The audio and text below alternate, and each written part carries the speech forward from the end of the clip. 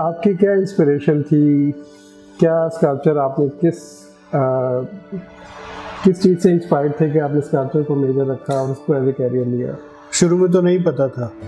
बस ये कि वो प्लास्टर का कोई पीस मिल जाता था उसको काव करके कुछ बना लिया। शुरू में मैं वो ये फाइटर प्लेन्स के वो मॉडल्स बनाया करता था। फिर आहिस्ता आहिस्ता छोटी चीज़ें बना के फिर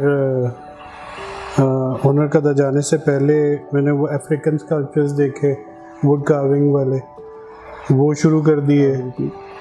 कार्विंग एडिटिव इंस्टॉलेशन इवन जो आपकी एक बर्ड्स की इंस्टॉलेशन है हम्म। वो भी साउंड्स के साथ भी वो और पूरे इन्वायरमेंट के साथ भी करती है।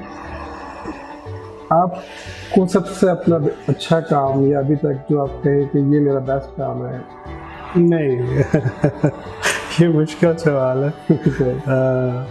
बेस्ट अभी तक तो मेरा नहीं ख्याल कि अभी तक कोई वो जगह आई है कि जहाँ पे लगे कि ये एंड है। लर्निंग का प्रोसेस तो चलता रहता है। मगर मेरा नहीं ख्याल कि अभी कोई ऐसा आया है।